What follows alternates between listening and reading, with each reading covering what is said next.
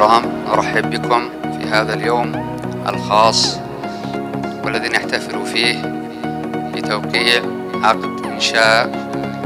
مجمع الفارابي للبتروكيماويات في مدينة ينبع الصناعية